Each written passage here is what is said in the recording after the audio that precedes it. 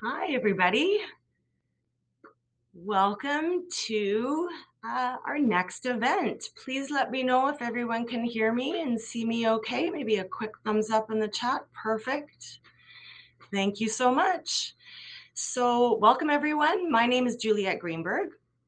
I work with New Media Manitoba. Uh, we're a nonprofit industry association dedicated to supporting the interactive digital media industry. Uh, we're so happy that you joined us tonight uh, for our next Manitoba Women in Tech event. I think the last virtual event we had was back in May. So we have so many exciting things to share with all of you tonight. Uh, but before we begin, uh, I just want to bring my script over here. Uh, I want to respectfully acknowledge that we are meeting virtually on the ancestral lands on Treaty 1 territory, the traditional gathering place of the Anishinaabe, Cree, Oji-Cree, Dakota, and Dene people, and the traditional homeland of the Red River Métis people. For those who are joining MB Tech for the first time, our events are brought to you by the combined forces of New Media Manitoba, Tech Manitoba, and North Forge Technology Exchange. And we are also super excited to welcome back Whitney Moore from North Forge uh, back to the executive committee uh, and our group after being away for uh, quite some time to start raising her family. So, everyone, give her a big welcome back to the group. Uh, Whitney, we're really happy to have you back on the team.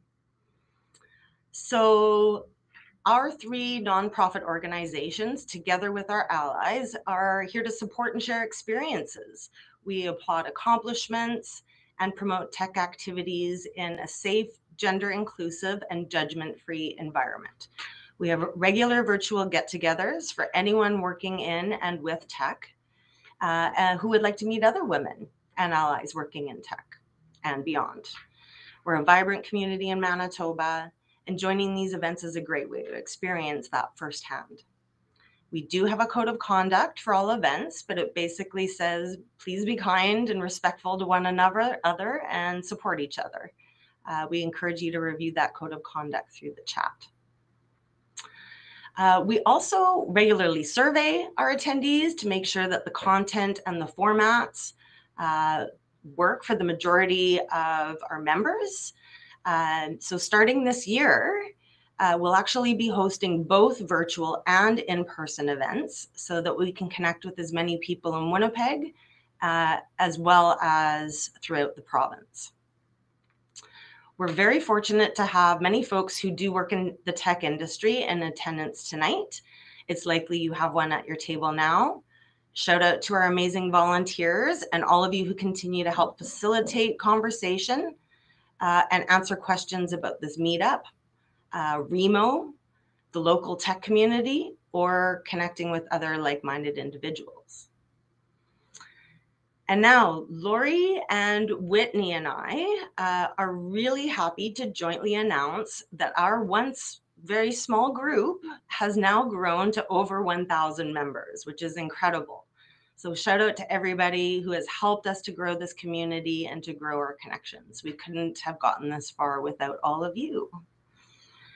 And another big piece of news is we have a new name. We are now called the Manitoba Women in Tech Meetup Series, powered by BDC Capital's Women in Technology and Thrive Venture Funds. So this is a this is a really big deal. This is very exciting. Uh, we now uh, are, are very supported. Uh, again, our, our three organizations are nonprofit, and BDC has come in with just some wonderful support. And this fund, uh, the Thrive Venture Funds, uh, aim to connect women in tech throughout Manitoba to advance gender equality and promote the advancement of women in tech. So BDC is generously sponsoring our technology platforms that are essential in us connecting with you, our members, through both Meetup and on Remo. And they have also generously offered to sponsor our in-person events so we can all enjoy some tasty food and beverages when we do get together in person. Please give a big thank you to BDC. And if you want to learn more, we have another event to announce this, this fund next week. So next Tuesday, October 25th, uh, during the lunch hour, we will all get to learn how the women-led businesses can access venture capital through BDC's Thrive Venture Fund. It's the largest inve- investment platform of its kind in the world. Um, so next Tuesday, Mona Minhas, partner venture, venture capital, women in technology, will answer any and all questions that you might have about how you can take advantage of the fund and grow your Canadian business. This event will be hosted uh, by all the executive uh, folks at, at, Manitoba Women in Tech, and it's open to all women entrepreneurs in Manitoba. We encourage you to join us to learn more uh, about the fund and if it's a fit for you or the organization. We're also really excited to announce that we're hosting another in person event on November 30th, and it's going to be located at the Smart Park at 100 Innovation Drive at U of M, same place that we had uh, our, our summer event. Uh, we've just posted that online, so please make sure to RSVP as well. Um, and um, yeah, we'll keep you up to date with all the exciting things for that November 30th in person event. All right, so next, I am so pleased to introduce our speaker for the evening. Um, Adelle, it's up to you. You're welcome to come up on stage now, or you can join me in a bit. Great, there she is. So, um, Adelle Rewerts, she's principal consultant and senior user experience architect for online business systems. So I met Adelle uh, working together, I want to say maybe six or seven years ago, um, and immediately recognized that she had mad skills and uh, a really well thought out approach to uh, user centric interactive design. And uh, I'm so pleased that she's joining us. Uh, she's a Winnipeg based user experience architect, artist, color lover, and warrior princess family woman. She's an entrepreneurial self starter who is passionate about helping people work. As a UX architect and strategic leader with a background in visual design, copywriting, and creative direction, she's mastered these skills. She explored the underlying structures for creating great work viability, desirability, and feasibility. She's been fortunate to ride the wave of the new technology starting in the in the 2000 tech bubble throughout the transformation of advertising, digital products, and now she's working uh, and looking into the new possibilities for emerging tech, data, and the human experience. She thrives to mentor, facilitate great conversations, and create delight in unexpected places. So we're so excited to see what you have in store for us, Adelle. Thanks, Juliet. Oh, my so pleasure. Nice to see you. So nice to see everyone who showed up today. Thank you so much. So, um, I... yeah. so you you can uh, feel free to take the stage and and and present uh, whenever you're ready. I will be off screen, but here for you if you need me. Okay, wonderful. I will just get this screen screen shared. Hold on. Don't want to give it all away. Can you see everything all right? Sorry, I can't.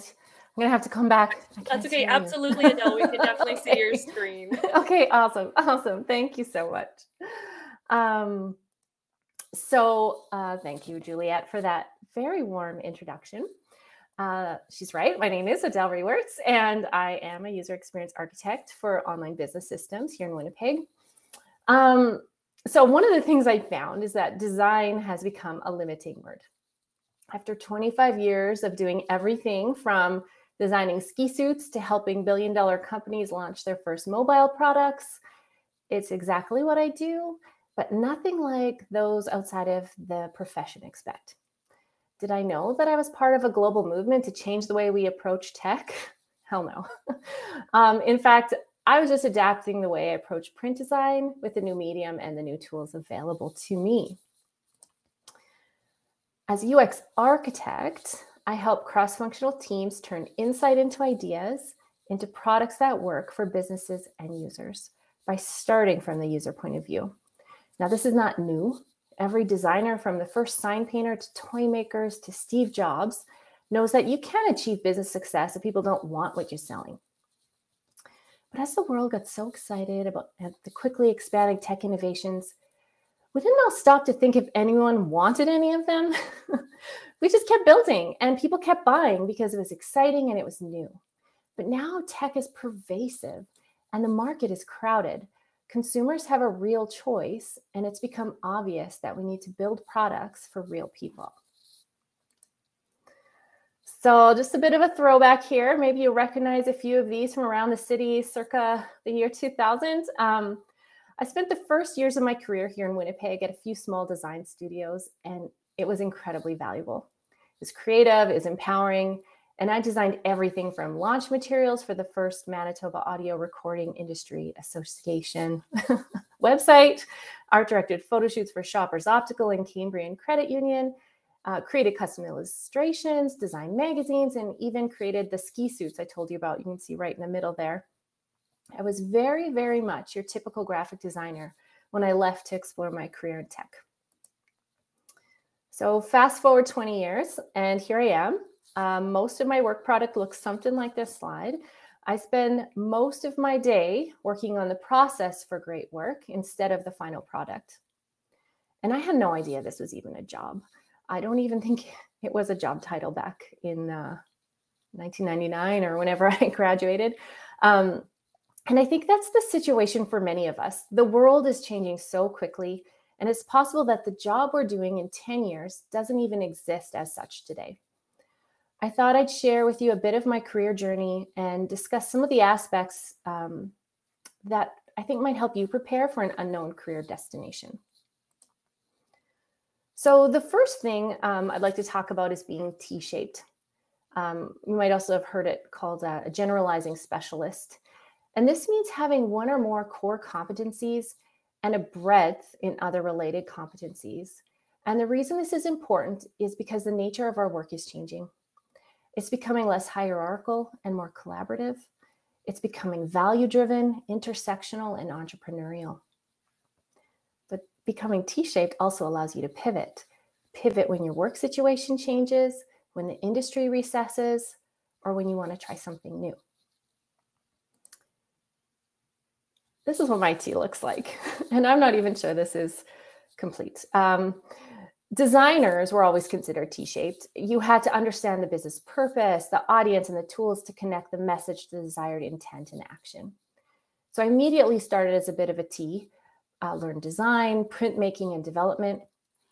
But right about here, somewhere in here, um, I hit the glass ceiling. Um, I remember the day when I realized it wasn't about me personally. That was actually kind of validating. Um, but just that systemically, people saw what I offered as superfluous. And at that point, I'd been working as a designer, a designer developer, and digital art director for about 10 years. I had won multiple awards. Um, but since I had started at a tech agency, I just I felt really boxed in. Like all I was there to do was make something pretty. And I felt like if I couldn't go up, I would go wide. So at first it started with things like user research, which wasn't something we called user research back then. It was just learning from users. Um, and uh, and and it, and then I found out more about UX. I found out more about business analysis. And again, not even sure I knew that those were the titles of the things. I just kept following my interests and the opportunities that were in front of me.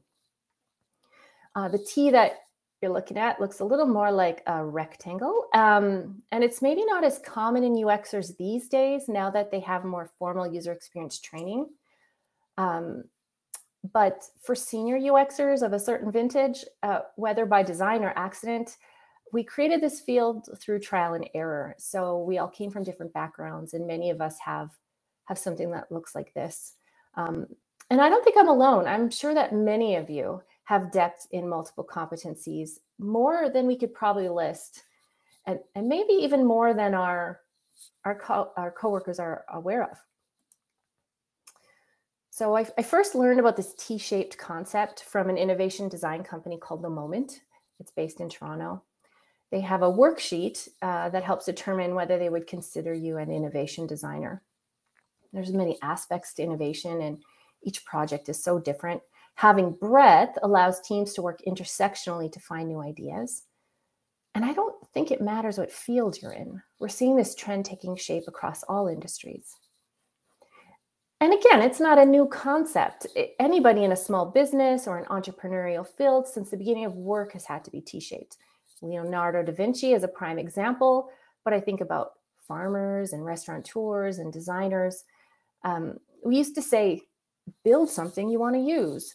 But we're learning now that because makers all came from a similar context, their products were only hitting the mark for certain groups of people. We're learning that diversity and intersectionality is not just morally and ethically right, but it's also good for productivity and good for business. So it means that you could bring your entire self into your work if you chose to. You could contribute based on your unique set of skills. And I'm wondering, how would that change the way you work? So, let's see here. Just click the next slide. Um, think about your career and head with me over to Menti. You can use your phone and just grab that um, that little QR code, or you can go to Menti and enter to menti.com and enter 2104 9178. And just think for a minute about what kind of skill or passion that you would love to bring to your work. Let's see what kind of hidden talents are out there in our in our audience today. I'm going to go over to Menti and you can see the code right here. Your name won't be associated with what you post, by the way.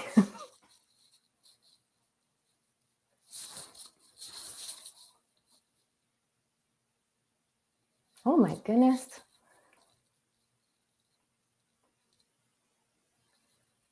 Oh, so many of you are ready to be UXers. Look at this.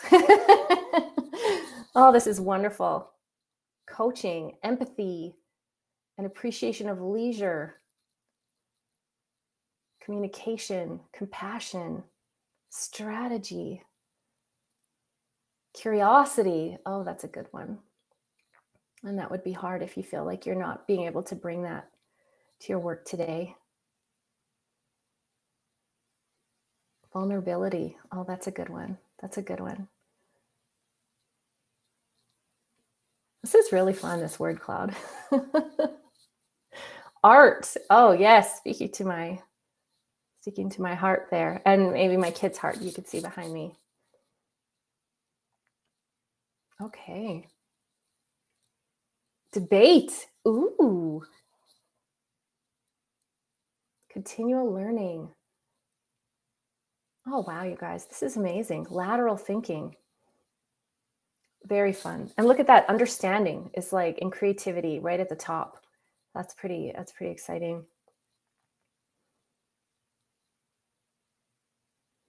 Okay, so I'm gonna, I'm gonna go back to the presentation. Uh, here we go. All right, so you're bringing this stuff to work. You're a Renaissance T-shaped powerhouse um, and ready to take on the world. But how do you apply that? And and I think it can be really hard to understand where you fit in, particularly. I'm just gonna drop my little feminist bomb here, but when capitalism has only deemed certain things valuable, right? Still, a lady's got to earn. And I find this particular diagram really insightful because it provides some additional lenses. For instance, if you start at the top, um, let's say you have a good job and doing what earns you money um, and what you love. But look at that. It, it doesn't actually mean that you're super good at it, which I find I found kind of surprising. Um, when you when you find that part where you really shine, then you'll have this opportunity to serve. And when you take this good job and adapt it to what the world needs, there's your opportunity for growth. And for a long time, I felt like I was in that good job space. But I kept getting pigeonholed into profession, probably because I'm incredibly curious and I kept loving new things. And I kept finding roles where I would excel and it would earn me money, but I wasn't challenged. I had to sneak in opportunities to serve. And this is where I'd volunteer to help with new projects, data visualization, or apply my passions to new projects. But it was still a struggle because the world didn't know they needed me yet. So here's what I did to try and find value to serve. Um, I had been following this blog series called Show Your Work, and it was mostly about actresses and how they would kind of demonstrate their capabilities and then when they and build their own opportunities and be ready when those opportunities were there. Um, so at the top, you'll see uh, the currency converter for OANDA.com, just circa 2009. but when I started there, I just had a computer, nothing else. Um, there was no one on my team, and I just sat in a pod with some other people trying to figure out what to do. When left to my own devices, I came up with a new logo, um, new branding for the website, and I even proposed a, a new currency converter. But none of these projects saw the light of day until we had installed a marketing director and then also another product owner who needed opportunities, right? So um, on the on the right, you'll see a dashboard I created. It was uh, for a global participation report for Wellness Checkpoint. And at the time, I had time and one of the analysts had data. So we worked together to tell a new story. My boss insisted it was a waste of time um, until a client expressed a need. And then here it was, ready to go. And below is a cut of Verbea. It's an online version of Toyota's famous Obeya rooms. Now, this isn't the live tool we launched with. In fact, I didn't even design that tool. Instead, I was working on a side project to reimagine it, to see what else was possible. But while I was working on it, Microsoft needed an app to launch on their first Surface Hub back in like 2017 or 2018. And lo and behold, here's my little side project now being launched as the first productivity app to come default on the Surface Hub. The common thread in these stories is that even though I was hired to create change, people just didn't know what to do with me. I had to wait for the right opportunity. It's a bit of one of those skate to where the puck is going situations, but for designers. And um, in the meantime, I experienced a bit of, we'll call it unpleasantness. it wasn't easy. It turns out I am a disruptor. Um, I am also a Libra, so I did not like being a disruptor. And it's not because I see myself as a great visionary or a hero. It's just because I looked at the world differently than my colleagues.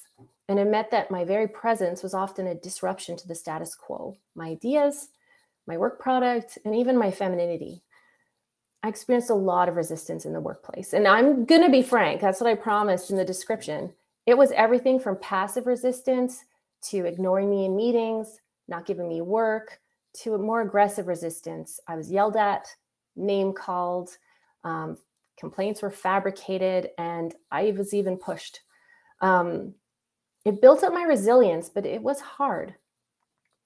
I tried staying in the corner, uh, but that just wasn't a long term solution for me.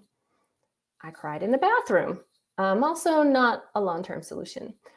Um, and I tried going to my boss, but the particular boss just said she really loved the team's passion. So there, there wasn't really an opportunity there to get some assistance. So I doubled down and I'm a bit of a, I'm sure it's fine to say, I'm a bit of a shit disturber. so I tried humor. I tried being a little mischievous. I stood my ground. Uh, if, if I needed to, I left a meeting and I left certain workplaces. But you know what? I never stopped because I am just a little bit relentless that way. Um, which is why I read my girls this book, Good Night Stories for Rebel Girls. Um, and if you get a chance, it would be really helpful to look at the story of uh, Bebe Vio, who is a fencer who uh, became a world champion without any arms or any legs. So, when I couldn't control the outcomes of my projects or even my involvement, I started looking at the process. now, this wasn't a process that existed as such, although I'm sure now you, are there's lots of books and different blog posts on different areas I'm about to show you. It was mostly through instinct and trial and error that I ended up utilizing the same steps that I now take with clients um, as a UX architect. So the first thing I did was I wondered how could UX or me as a person support the project purpose. So I had to look at what was my coworker trying to do um, how could I help, right? I instead of doing user research, I was doing coworker research. So I observed and I listened to what they were doing, what they were trying to get out of it, and the challenges that they were having. And then this is a, a value proposition canvas. What I was where I would normally, you know, with a client match user needs to features that we'd want to build. I was looking at you know, what are my coworkers' needs and what are my opportunities to help them out? Where was my thin edge of the wedge? And then I was also looking at, you know, where were people open to my involvement? These were my innovators. Those are usually the people who hired me. And then where were my early adopters? You know, the people within the company who were interested in what I had to say. Um, and who were my laggards? Who really did not want what I was selling. and maybe those people were not projects that I tried to get involved in, right? And once I had a little bit of traction, which I had a little bit of involvement, um, I, I sought to understand how I could scale my influence within the organization. You know, whether that was lunch and learns or building up my team, um, trying to get new products or launching side products for the company, I was looking for opportunities to take my little bit of a win and grow it. So now here I am. I'm 43 years old and I'm a UX architect. Have I made it? Is UX architecture my ikigai? Um, I'm going to go with no, uh, but it is a path that's getting me close. I'm hitting my stride and I'm really starting to understand my value, which isn't in the work product. It's not in all those little blue dots on my T. It's in the spaces in between. The timing of this presentation has been really advantageous. I know it looks like I've had all this success, but really a few years ago, I had been so disillusioned by my career about the pushback and my lack of momentum and all the effort it took. I hit my 20 year mark um, in as a worker um, and was leaning out to have a baby at the same time. And I took that year to reflect. I joined a women's networking group and I learned that some of the most amazing and accomplished women were feeling the same way that I was. They had all this value and knowledge, and they were pulled in so many directions. They were tired and disillusioned, but still driven, still searching, like me what I came to realize is that when you're in your 40s, you know something. You know something about work and you know something about life, and you are uniquely positioned to handle all of these all of the things, the family, the house, the illness, aging parents, community. They make you a fuller person at home and at work. They force you to focus on what you value, to learn to differentiate what's important from what's really important. For me, all that pushback I had received taught me resilience and made me look at the process of work. But I also really started to understand the process of living, which was interesting. The birth of my second child showed me my strength, maybe because there were no drugs, um, but it was definitely a moment of renewal. And then last year, my dad, who you can see right there, he he died suddenly, and I was forced to grow again. Any pretense I had fell away. And I felt incredibly vulnerable. I was met with some incredibly compassionate people at my workplace. And I have to admit, it changed the way that I related to the world, to my family, and to my work. In my grief and in that compassion, I saw the world differently. And now I can't unsee it. This past year, my work has taken on a new kind of momentum that I'm only learning to understand and I don't think I've quite yet learned to articulate articulate it. And uh, just to get a little a little frank, um, when I was telling Juliet about it, I said, when you let your last fuck go, it really opens you up in new ways. So I don't know what's next for me, um, but I do know that evolution is the only option. Uh, thank you very much for for listening and for spending your time with me.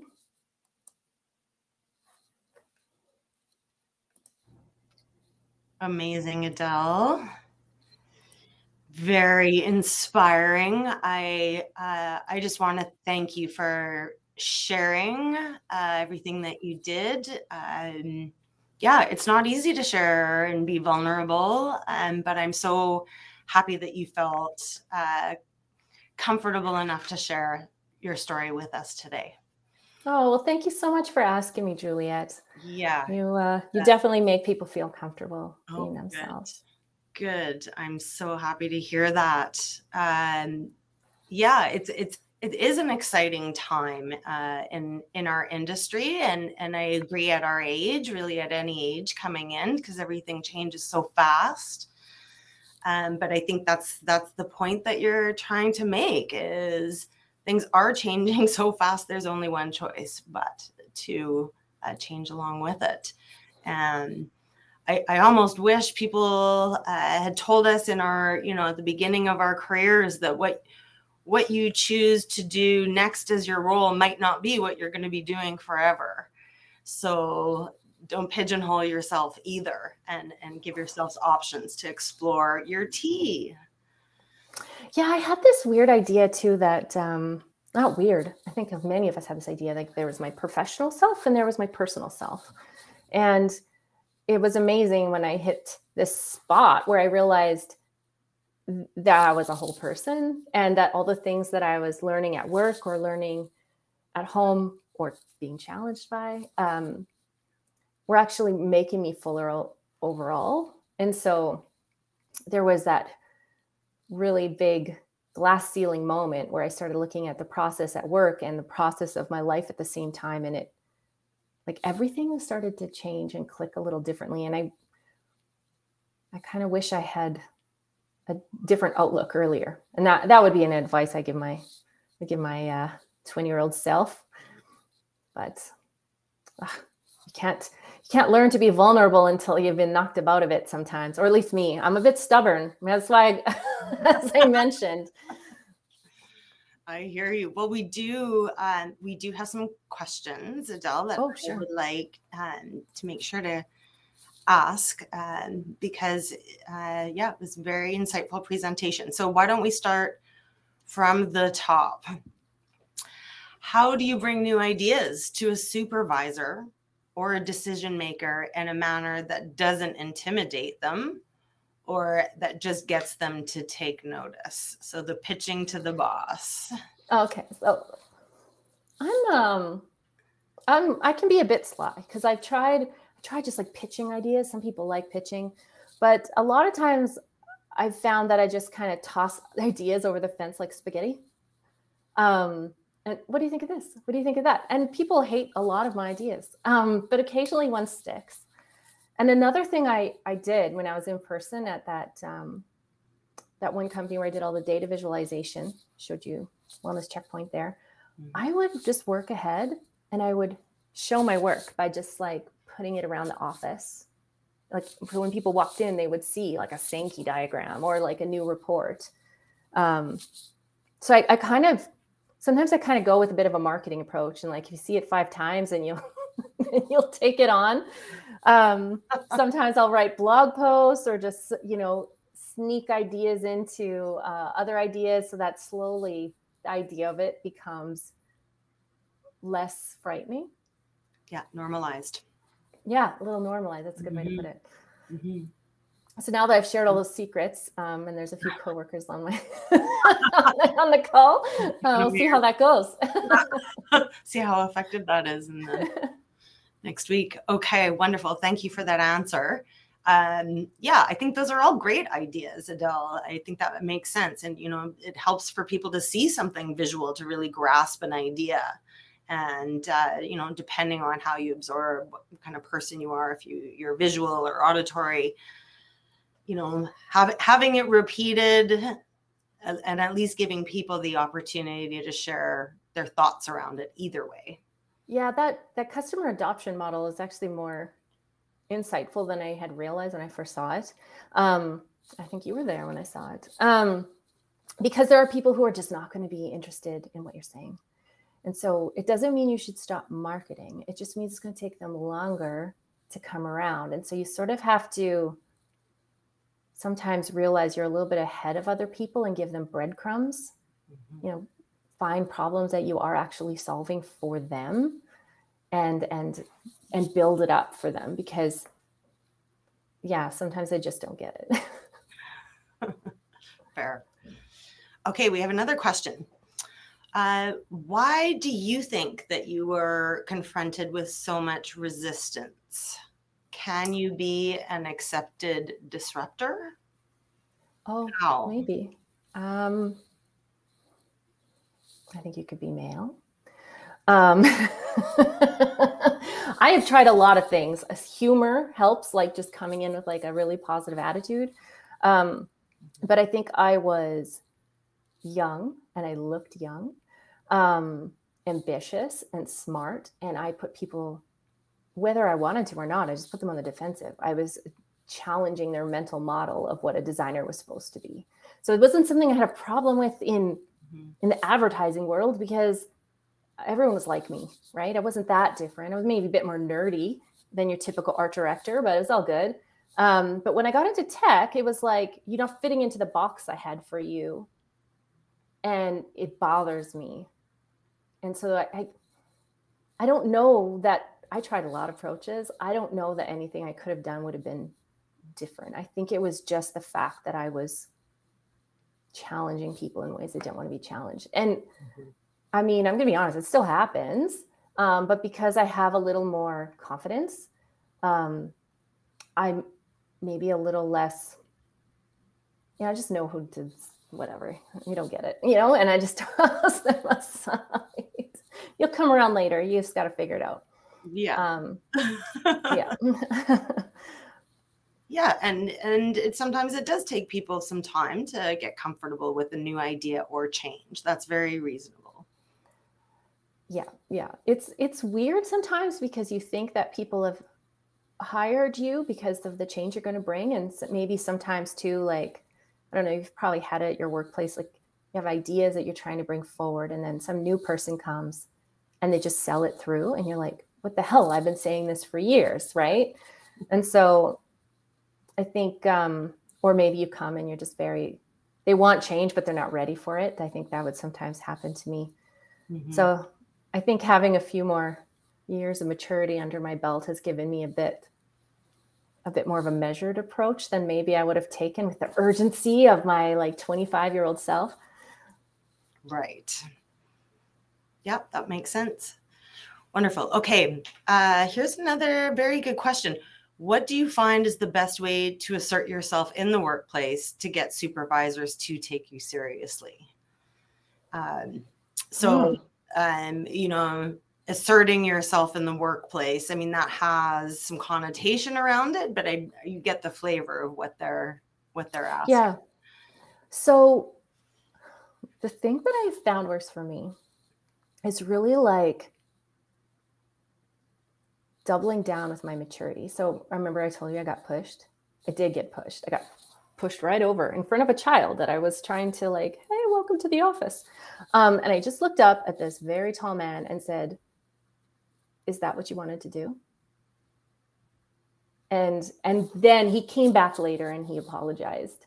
Um, i found that when i take the high road and maybe a slight like i don't know how to explain it but there's a certain confidence in that right mm-hmm. you know i used to get called princess a lot at work and and finally i just said listen don't call me princess I didn't say it in a mean way or an angry way. I didn't even, I didn't say it in a weak way. I, was, I said it in a way like this is my boundary and just don't do that and it seemed it seems to help me anyway if when i find my voice maybe it's my mom voice maybe that maybe that's what helped i also was a teacher for a while and that i think like finding that like that voice really helped me right. um Yeah, but checking checking in with them is that is that really what you meant to say and giving them a chance to reflect on their own words and delivery. Yeah, the high someone wrote the high road. Yeah, when they go when they go low, we go high. Those words from Michelle Obama. I think mm-hmm. I think it's the best way to go. I've tried a bunch of things, poking the bear a little bit, um, but that's that's usually when you've pushed me way too far.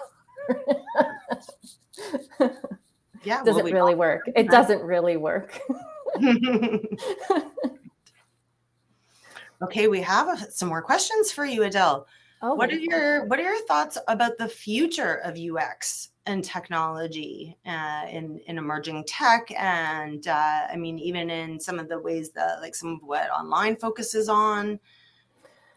That's really interesting because you know as we're getting into let's say like the metaverse or things like this, um, it's not just like UX, right? Like our idea of UX. So there's there's hitting designing features that people need. That's like the core, and that's not going anyway.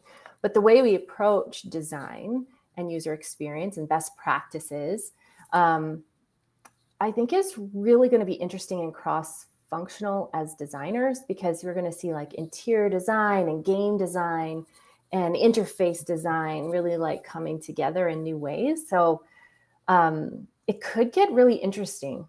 I, I'm I'm very excited to see to see how these um, design collaborations will take place. You know, we kind of usually just say like, "Oh, you're the designer," but I, I think we're going to start to see a lot of cross pollination there.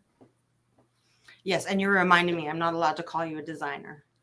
I, I mean, I, like, I, am, I am what I am, but yeah. I finally kicked that title, which is nice. Um, Wonderful. Okay, we've got some more questions. We're going to keep going here. How can you persuade someone high up in the food chain to be your sponsor to help you progress in the workplace? So, your champion. Uh, oh, man. So someone, someone, I guess it's yeah, someone that maybe a, a, a little bit higher of a role than yourself, but that can still be a champion to help you progress in the workplace. I mean, how do you persuade anyone right it's you've got to show your value to them so there's some there's going to be something some place you've interacted with them where you can showcase why you rock you know? And they're going to have to have some kind of need. So if so, if if nobody if the person you're hoping to be your champion doesn't have a need for what you're selling or hasn't had opportunity rather to see the value demonstrated that you're bringing to the table it doesn't have to be design. It could just be ideas or whatever it is that you do. Um, it's going to be difficult for them to agree to be your sponsors you've kind of got to create you got to ux it a little bit and create this opportunity for them to come to you with like oh she's awesome i just want to be i want to help her i want to be part of her career her career circle yeah and make yourself present you know like sh- showing up uh, is a big part of it too. Um, well, know. I mean, it's it's difficult, yeah, and that's one of the challenges we have is um, if you're in a caregiving role, yes. um, because you have to try to find ways to to be present, or if you're just in a busy role, like sometimes with consulting, you could be off by yourself, you know, at a client, and like nobody in the company sees you, so you have to take some extra efforts to make sure your work product is shown one of the ways I did it is you'll see on the OANDA blog how many blog posts are under my name. And so when I had opportunity, I was just like tappity tap tap tap everyone, and um, and you know like and then people could see what I meant, right? Um, and see the value that I was trying to bring and the the things that I tried to mean something. And then I started meeting more people with with similar mindsets, being invited to things Thank you for that. Okay, more questions. How can leaders be more supportive of creative disruptors in their workplace to bring out the best in the whole team, including the disruptor? What a wonderful question. That is wonderful. Oh yeah. man, that's trying to think back down to my little teams. Um, I think you need to have empathy towards the person who's disrupting, right? Because there's a tendency for us to think there's like a bias, like they're disrupting, they're causing me to put so much attention on this person that's bad.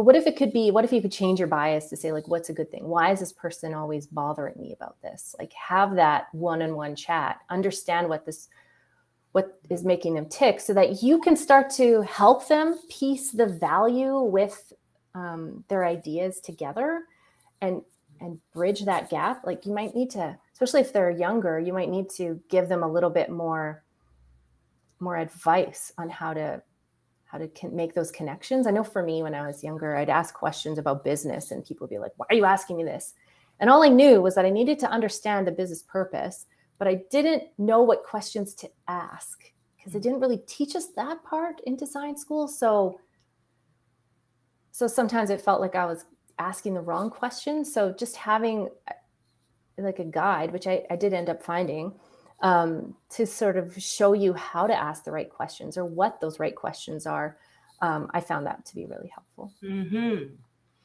That's a that's a wonderful point. That's something very very tangible and doable for for leaders when you've got your staff coming to you with ideas, help, helping them through the right way to ask the questions so that they can give them the answers they need.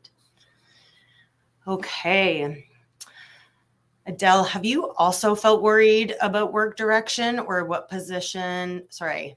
Have you also felt worried about work direction or what position I want to focus on before when you were like myself, who is almost nearing the end of my program?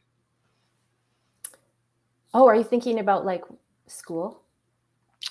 I'm guessing um, this is about a school program. Let's see in the chat.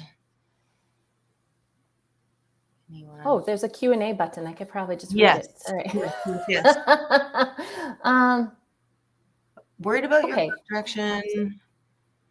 So when I was in school, I was really, I don't know, like amped up about design. So I wasn't worried at that time, but I, I was worried um, a couple years ago and I'd been doing this for quite a while. Um, I was also worried when I moved to Winnipeg, and I wasn't sure if I'd what kind of career I'd have when I moved back. No offense to anyone, but I had no sense of what's going on in the industry locally. Um, and so what I did um, was I stuck my nose out into a bunch of places to see. Um, a couple years ago, before I started OANDA, I was wondering, is there a career for me in UX anymore in Winnipeg? And so I was applying for all sorts of weird roles, BA, director of this. I was I was like, is this is this a place for me? Is this a home for me? Because people weren't putting UX architect in a job description. But I had met my current manager. Um, I think I was recruited, but I met him and we didn't I didn't we didn't go down that path at the time. But we got each other and it was really good. And so later when we connected again and we were both in a better place for this fit to happen, um, it worked out really well. So so my suggestion would be is if you're not sure what direction it is, especially when you're young um, or just starting out, see where you can get a toe in. Like what's your thin edge of the wedge, right? Find, try a bunch of new things, try it out, and then learn. It's just like any innovation, right? Try something, learn, and then try something else if it's not if it's not the right fit. But you're not going to know it until you try. Turns out I don't want to be a BA. I figured it out. Through trial and error and experimenting and and not being scared of it not working out. That's a big part of it too. That's why I was mentioning like what what I do next might not be what I do forever for the rest of my life, but I will learn something from it even if it isn't, you know, a long-term fit. There'll always be yeah. something that you get out of it. Once you get that first big loss under your belt, um, and you recover, mm-hmm. it really helps you to to take a few more risks, right? When you know that you can trust yourself or you can trust your community to hold you up if if something falls apart. I found that to be very, very helpful to me. It, it took a big fear out of out for me because I actually was laid off before, and I, I spent a year teaching high school before I decided to go back to school for multimedia and move to Toronto. And I felt so supported by my family, by my community that offered me this wonderful job as a teacher. And I loved teaching um, that I, that I I just I was able to take a big risk like that when previously I was too scared to leave the province for school. So um yeah, sometimes it takes a risk to know that you you can hold your own. Absolutely. Oh, I love this. So how did you reach the point of like how you said giving your last fuck? Well, it wasn't fun. um you know, I would say that I experienced some really big hardships. Um, you know, I would it just in the five years before, um, particularly with um, some some challenges at work, really set me back and affected my mental health. And I ended up then struggling after the birth of my first child, and it led to postpartum depression and all this anxiety. And and I was just like, ah, and like really just worried, and my health was going terrible. Um, and I had to kind of like learn through it, right? Learn through it, learn through the chronic health problems, the mental health things. Then the then I had this other baby. It was a bit restorative. I, so, I felt so good, but I also like just knew what I didn't care about, and it really helped me set my values right. And then, and then when my dad died, I just didn't care about anything but, you know, like it's just, I don't know, it just reset everything for me. And um, all the things that mattered to me became like super crystal clear. So unfortunately, to get to that point of of losing all pretense, um, probably have to experience some pretty challenging moments. Although some people are just born with that, like they're just much more carefree than than maybe I I was naturally. oh, well, um, this next question is is also very interesting. You know, the tech industry is very male dominated, as we know. Do you have any tips on how to navigate workplaces where you might be the only woman or one of a few women on the team? I have not worked at a place maybe one place where it was equal. yeah. um, and there were two women and one man. Um, so yes, I have worked in those situations a lot, and um, it can it can be challenging. Um, again, I think that a lot of it like comes down to just understanding your colleagues and where they're coming from because unfortunately you can't make other people understand you. I've tried that. That doesn't work. Um, so so even though you're in this male dominated place um, as long as the behavior isn't toxic um, just treating people like people and kind of putting that part to the side and just like just like working with the person in front of you. But there are going to be moments where i mean it sucks and I don't want to have to say it, but there's going to be moments where you're going to have to be the bigger person. And you may have to call people out or leave situations if it feels dangerous or unsafe for you. Um, which is really that that's almost gender non-specific, but um, yeah, gonna have to be okay with being different. Is really what I think it comes down to, which is not always um, not always the easiest if I don't, I don't know who asked that question, but you can always message me um, over LinkedIn or something like that. We can chat a little more specifically um, mm. about about tips or things that I've dealt with. Yeah, and you know, coming, I find that you know, make trying to make connections, uh, you know, it, with other women, you know, that have similar interests can can really also be very helpful. Um, I know a big part of uh, my growth in the industry was discovering that I, I was missing certain things from some of my workplaces. Uh, and it was that empathy and it was that connection. And, you know, much like your story, you know, through that experience of discovering what I needed, I realized that's a, that's a direction I want to go so it's it, it's fascinating that sometimes yeah what what it is that you're needing you can find out you can create for yourself uh, and and for others. So if um, yeah for whoever wrote that that question uh, keep coming back to MBWiTech and making great connections. We're we're here to support you. Uh, is there still room in UI UX uh, to be a freelance designer? Where would one even start if you have basic graphic design skills? So yeah, there's totally room to be a freelancer. Um, it happens all the time, right? Even small product teams will just be like, we don't have a user experience designer, and they'll they'll hire that out, or um, depending on what type of um, user experience work that you're looking to do.